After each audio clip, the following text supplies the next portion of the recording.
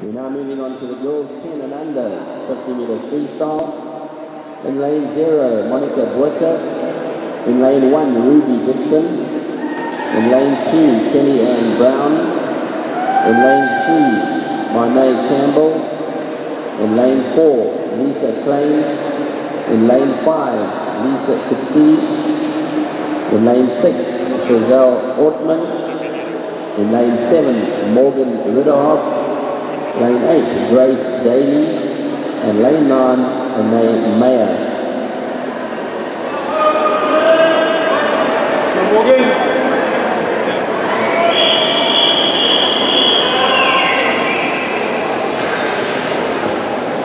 Michael Jones, please will you report